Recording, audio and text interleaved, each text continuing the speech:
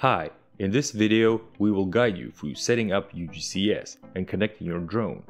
Let's start by installing UGCS. First, go to ugcs.com.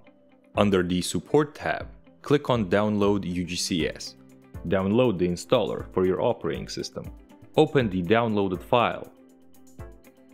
Follow the instructions in the installer and run UGCS. Upon opening UGCS for the first time, you will be prompted to enter your activation code. Enter it and press Activate.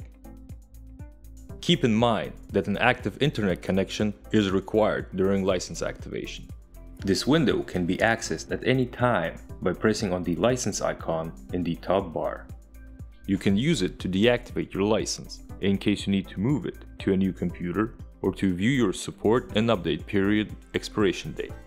Next, to connect a DJI drone to UGCS, you will need to use our UGCS for DJI Android app on your mobile device or DJI Smart Controller. If you will be using it on an Android mobile phone or a tablet, you can simply go to the Google Play Store, find the UGCS for DJI app and install it from there. If you're using the DJI Smart Controller, then you will need to download the APK file from our website. To do that, on your DJI Smart Controller, open the web browser, go to ugcs.com and under the Support tab, select Download UGCS for DJI and choose Direct Download. You can also download the APK file on your computer and then transfer to the smart controller via a USB cable or an SD card. Next, on Android, use the file manager to open the folder where you have the APK file saved, open it and install the app.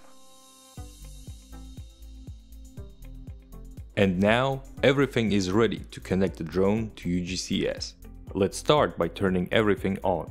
Turn on your DJI remote controller and open UGCS for DJI. Then turn on the drone. Next, let's make sure that the computer and mobile device are connected to the same network.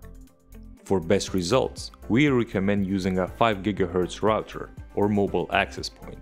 Note that an active internet connection is only required for the first start of the mobile app.